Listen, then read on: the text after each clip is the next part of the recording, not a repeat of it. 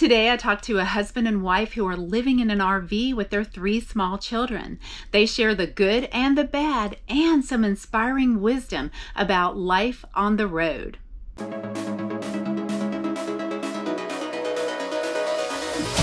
Welcome to my channel. I'm Liz Amazing, and these are exciting times to push past fear, build confidence, and live amazing. Well, you definitely need to push past fear if you're going to pack up your small children and live in an RV while you're traveling the country. Well, I'm super excited to introduce you to Bethany and Bryan, who are doing just that. They very candidly share the good and the bad of living on the road with their small children, and they share some really great life advice too. Well, I met Bethany and Bryan back when I stayed in Yosemite a few months ago. They were my camping neighbors for a couple weeks, and then we met up again at another campground. So here are Bethany and Bryan as they share their fascinating story. Well, thank you again for agreeing to having Yeah, a little yeah. conversation. problem. so, um, so I was really curious about Bethany and Bryan and their three kids to see them not on vacation, but actually living full time in their camper, traveling the country. So, so let's talk about that and what led to that. Maybe we should back up to the the world travel. So I suppose our traveling ambitions have been around for a long time, and they were realized last year. Uh, where in, in April we took off. Um, at the time, we had three kids who I think were 10, 6, and almost four. Right. Spring of 2018. Exactly, or well, 2000, yeah, spring of 2018. That's correct. and then you were 29 and 35 roughly. yeah, Yeah. exactly, Right, right? yeah. Yeah, yeah, totally. Yeah. Yeah, which I don't, Took me a which I don't ever remember telling you. yeah, so- Exactly. Yeah, Yeah.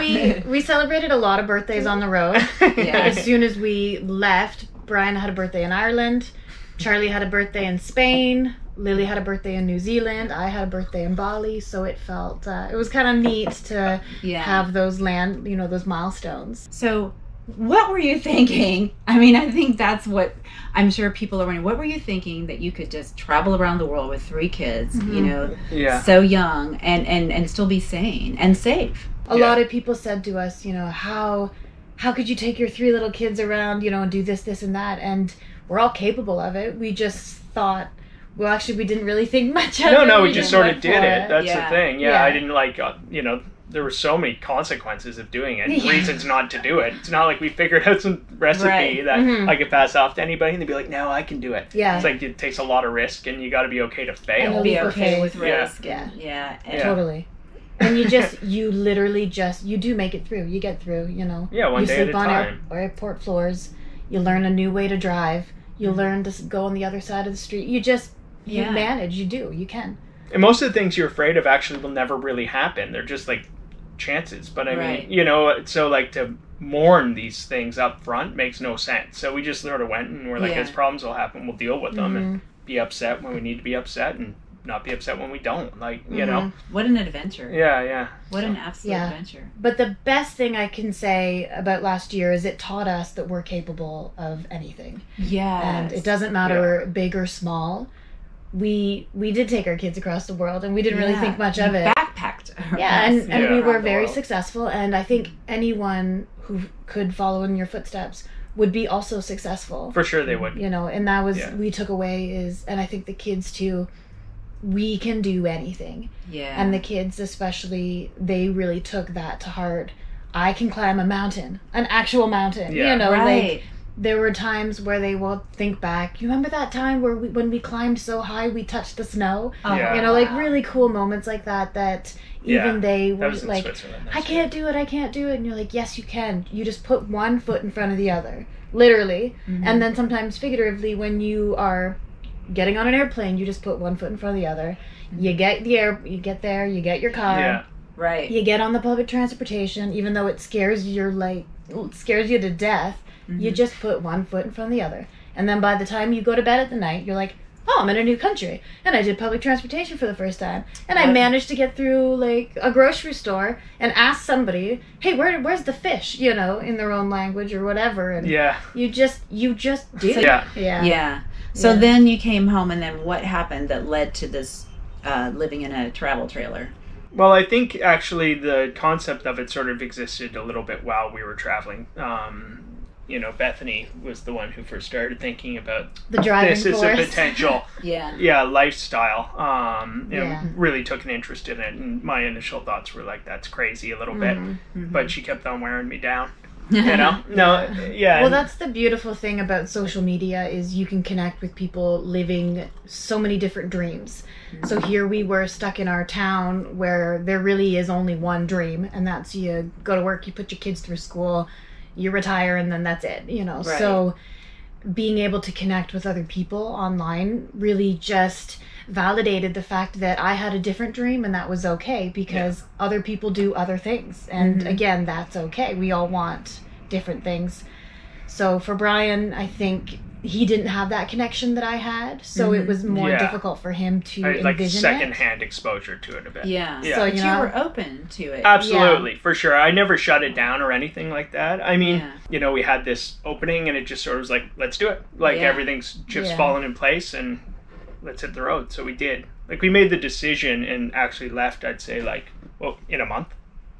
Yeah, basically, Probably. we you know the the dream was always to you know live this way somehow. We just weren't really sure how it would materialize for us. Mhm. Mhm. So we came home with a lot of faith and a lot of hope, and you know, uh, it like Bryan said, we didn't have a big plan. It just sort of landed on our lap, and Mhm. we were like, okay, let's do it. Let's go for it. You know, Wow. this Yeah. is the dream, so let's make it happen.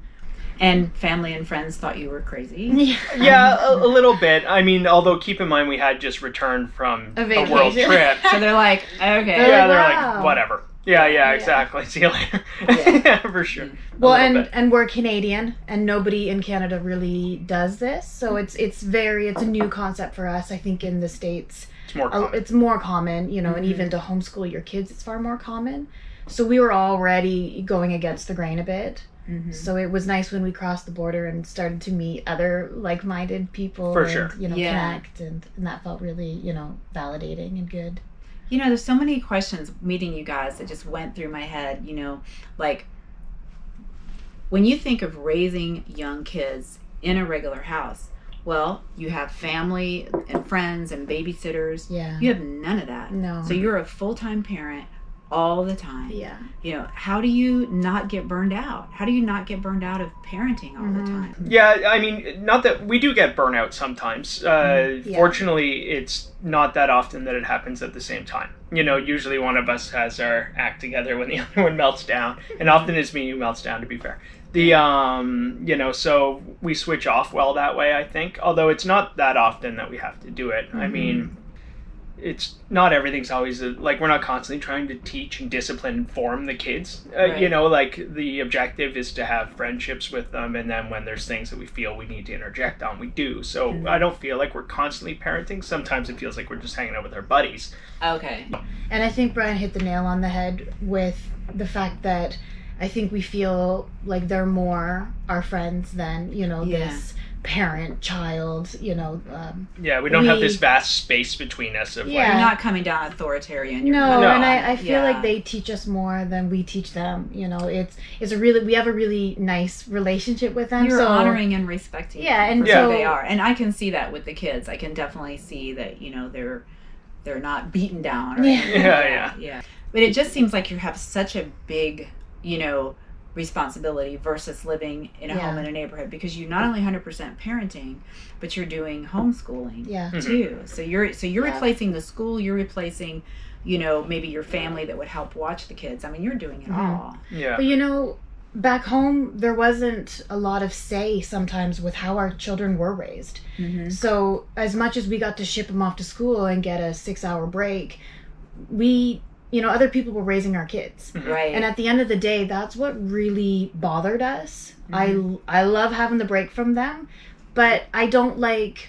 It came at a cost. Yeah, it Yeah. did. It, it really did. They were coming home with things, and you know, it. I I want to be in charge of how my kids are, you know, raised and who they're going to become when they're older right. where right. we really have that control now to you know nurture them in ways that they should be or you know or Mhm. anything like that Yeah. and to cultivate like their particular and individual interests as well right Mhm. like you know if one's excelling at math and science that's you know in the school it's almost like they just don't pay attention to that and then they just work on you in the areas that you're struggling Right. and i mean that's great for being well rounded and stuff like that but like you know spending the time to like hunter in particular is really great with science and math and stuff so we do extra work in those areas to help really you know we keep him up in the english and Yeah. the you know Mhm. social studies and the stuff he doesn't enjoy but you know Mhm. only to the point that he has to be you right, know but and then you're yeah, but you're honoring that he's excelling in this and, and Mhm. letting Exactly. go for it. Yeah, and you don't really get that in school unless you're lucky enough that your kid gets noticed and gets put into enrichment for something. But I mean, you know, he's pretty Right. quiet yeah. by nature, so he doesn't stand out in the classroom that much. Yeah. What is the downside? What what are the, what are the challenges? well, there's space. Yeah. Mhm. There's no space. The kids all share basically like a few square feet of Mhm. for a room. They're always, you know, they're yeah, they basically you live in a chest to- of drawers. yeah. Yeah, yeah. You know, Uh, little- you know, there's really honestly not a lot of cons to this lifestyle. It, you know, you do miss your your friends and your family. Yeah. You know, we we're leaving here, our current campground, in a few days, so we're already preparing ourselves to have to say goodbye to people that we've made real deep connections with, yeah. and that that's a struggle. Mm-hmm. But I mean, there is no perfect scenario. You know, there's always going to be bad. There's going to be good, and the good far outweighs the bad in this lifestyle. It's very, you know, it's very inspiring. Yeah. So to be able to, you know, walk out your door and to always have something new that you can learn from and Well- meet new people. I, I think there's there's probably a lot of downfalls. Like, I mean, if we were to Oh, really. okay, so Uh, now we're into the tag. Like yeah no no but if we were to break it down like I mean there's lots of things that if you were to just say it aloud you'd be Right, like wait a minute that doesn't sound that great This lifestyle is not for everyone. But you know. Yeah. yeah. but I think the the positive of it is that it's on your terms and on your schedule. Mhm. Like I had a realization like at one of the first campgrounds we stayed at in Leavenworth when we were getting organized to go. Basically, when we were going on this trip, we had this big debate whether or not we were going to bring our bikes Mhm. um, and how much we need them, and they obviously take up space, and we didn't have a great storage solution for them when driving, so I like built a bike rack for the back of the thing. And anyhow, Yeah. but um, I absolutely fundamentally hated taking these things off and putting them back on right, again. It was just so much work, and you have to do it in a particular manner to get them all to Mm-hmm. yeah, it's a lot of bikes. Yeah, it's a lot of bikes, exactly. so I was doing it at Leavenworth, and I just had this realization that I don't need to do this quickly. Like, there's no reason for me to do this There's in a no hurry. Nobody's hurry. waiting for me to have it done or expecting Mhm, for me to right. report back that the bikes were on. So I just did it at my leisure.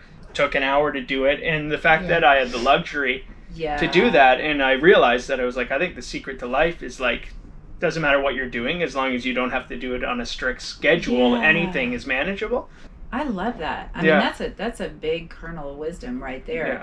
and I can relate because before living this life, I could feel that too, where you're always going from one activity to another Yeah. and hurrying and, and really paying attention to your watch. Yeah. Yeah, Yeah. I And I mean, think there's that's a less of that now. That's a great source of anxiety for so many people. Is that expectation to get something done at this time and Yeah, you know what we've really gotten out of this trip so far is just that time is something that we have and that feels really liberating Yeah, it so does. you know if it takes him an hour to put the bikes on or he was taking the decals off the other day and everyone kept coming up saying you know if you had a heat gun or did this or that fast it would be so much faster Yeah, and I Right, just right. was like, I'm not in any particular hurry to have it done. Like, I'm not Yeah. looking for the fastest way to do this right now. I'm just Yeah, enjoying just doing, doing it. Yeah.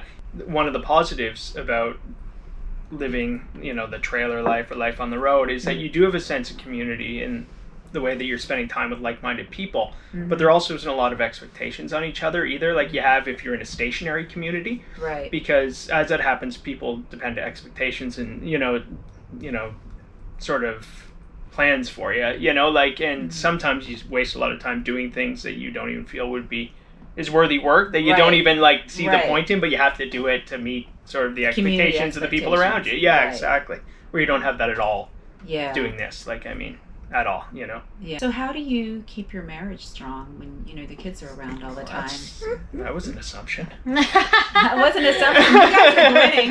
You guys are grinning. Oh, Yeah. okay, yeah, yeah, yeah. I think we just sort of we managed to, you know, like a lot of the same things, and we have a lot of we just ha- we have a lot of fun together, the two of Yeah, us. Yeah. I can see so that. you know, it's yeah. there's not a lot of like pressure there. Thankfully, you know, we're Mhm. And that's I think that's the secret to life too is just to have you know you gotta have fun. Even with your kids right? Right. that's part of it. You, you can't always take yourself so seriously. Well, and we do still have disagreements, but if we are, it's usually as a result of something that actually needs to be addressing. Like, you know, where I think back in our old life, you know, uh, when selling real estate and stuff, sometimes you got to deal with some real issues, and you know, Right. and you have problems with people that you just wish you weren't dealing with, and they burn you out. Right. And then you go home to your spouse, who's like literally just like minding her own business, and then you get frustrated with her about something that isn't really her fault. Like, so when you eliminate those sort of moments of your day, then you don't have you know as many unnecessary breakdowns and stuff because you're not getting worn out by everything. by you know, life yeah. and the, the Mhm. treadmill of life of working and just you know so it sounds like that the biggest takeaway that you guys or the biggest draw maybe for this life is Mhm. the stress getting rid of stress Yeah. For sure, living Yeah. minimally was a huge part of it too. It's like okay, let's reduce our living below requirements. Yeah, I think we realized last year when we um, we only took our backpacks across on our trip Yeah.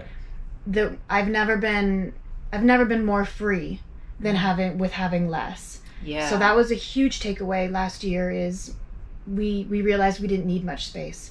So the ti the little trailer, the few articles of clothing, you know, we Mhm. felt happier with that and more free. You know, we certainly don't have a lot of money, but we just use it more wisely. And st- and I feel like a millionaire, you know, like yeah. I and then you do you know. some boondocking and yeah, we do a lot of dry camping. Um, Mhm. and Usually again, in a state forest or something too, Yeah. right? So- yeah. The big draw with uh, dry camping also for us is we want to be more mindful of our, our carbon footprint. We Mhm. want to live, you know, in harmony with the earth Yeah. because I think the way that we are living and with the excess, we're just burning it out and we're taking so much. And and even last year, personally, I felt pretty guilty with the amount of flights we went on. Mhm. So this year, to try to like kind of cut back, Settling it. we Yeah. live Yeah. off solar and you know Right. and everything like that and and just really peacefully with the earth. And i think it's really cool to teach your children you know that that excess and how we use too much and to really teach them yeah. that what we have is enough and let's not take more. You know i, I love that they're growing up in a life where they get to spend all day outside every day. Right. For sure. that is so awesome. So healthy. Yeah, So and healthy. you know, like I think back home, we've got kids who like won't get off their devices they're or on something the like this. screen and, time yeah yeah Um, you know, I like I'm proud to say that our kids like we if ever we need a break, it's like okay, go play a We game like for twenty force minutes. them to be on their device. You know, Sometimes. they, they have yeah. no desire. Exactly. I think it's really cool to see that. To them, it's far more interesting to you know make garbage into a toy outside or like play outside Yeah. and that is you so know No, that's, that's a cool true. thing yeah.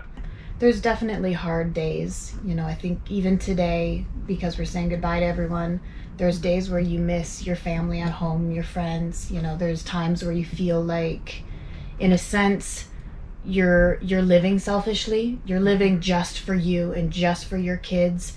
And that comes at a cost too. You wish you could be home. You wish you could. Yeah, because help family. grandparents are missing out on seeing For sure, that's that's the That's one. be That's hard. that's the hook, right? Like that's the issue is that Yeah. you don't have that sort of like extended family. We've got pretty close relationships with like our parents, and um, Mm-hmm. Right. you know, and in particular, like You've um, taken the grandkids away. Yeah. Yeah. Well, and there's cousin relationships and stuff too in the community, Yeah. right? You know, of course, as parents and anybody really, you always question: Are you doing the right thing? Mhm. you know am i giving my kids the best life and that's that is certainly something that you have to live with and go to bed with right? Yeah, okay and we're not that? convinced. Like I, I don't know yet what Right. the answer to that is. Yeah, what you know? Yeah, Right. yeah, for sure. Like It's a leap of faith. yeah. Yeah, for sure. Yeah. Um, Yeah, it I know is. that I feel very peaceful in Mm-hmm. my life right now, and I would say that's probably true with all of us, hmm which is an indicator of a good choice. especially. Oh yeah, the kids just seem amazing. they're Yeah. very you know they're very content very peaceful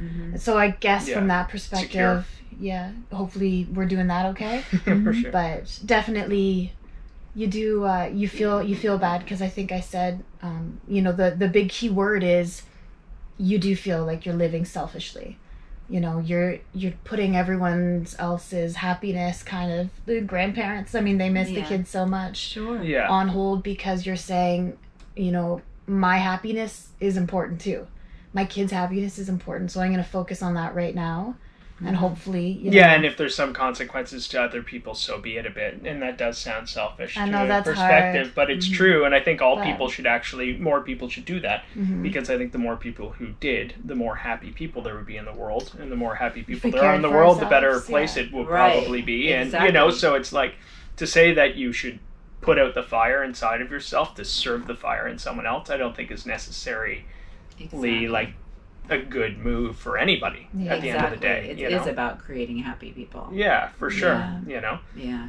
I guess another thing like to touch on is like financially, it Mm. can be difficult at times, right? Because some people have Because you're not retired. No, no, and nor No. am I working on the road. Like I don't have an online business that I'm spending. Yeah. You know, like you know, we've created some. Uh, like revenue streams, Right. you know, s- somewhat passively, um, that serves us, but it, but it's limited, you know. And so when you're living in a community and have a full time job, you can just sort of just frivolously buy stuff and just be like, oh well, I'll just make more money, you know, like and deal with it that way. Whereas you only sort of have so much coming in, so it's a daily question of is this worth it like you know and going out like for lunch because sometimes you want to like go for lunch and you know Right. and do stuff like that but you just can't because Mm. that'll catch up to you you only have so much And again, everyone's in a different position. I know a lot of people do work on the road, and that's great. Uh, we don't, so that makes Mm-hmm. Yeah. it. Yeah, you know, we have sure. to we have to learn to live with less, and Mhm. you know, and make that that decision every day. If it's either this or that. Mhm. So yeah and that's why i think everybody doesn't do it you know we're always like why doesn't everybody live like this and that's why because not everybody's comfortable right. having Right. to constantly make financial sacrifices Yeah, because you're walking on a on a tight wire. yeah Mhm. But the gift in that is that you're fully present for each other and the kids. Yeah. absolutely You know, Yeah. you're not buried in the computer trying to make money or right. No, Yeah. for sure. And And- money's not responsible for provi- providing me most of my joy either, which Right. it typically is for most people, right? Mhm. Like I'm literally happiest to just be outside, not even thinking about accounting. Mhm. Right, You know? right. Yeah. Yeah, we got a roof over, over our heads. We've got food on the table. Mhm. You know, and the rest kind of does manage to handle itself. So, what more do you need? What sage advice do you have about living in an RV? Share in the comments. And if you liked this video, you'll love the next one about the pros and cons of solo RV life. I'll see you in the next video.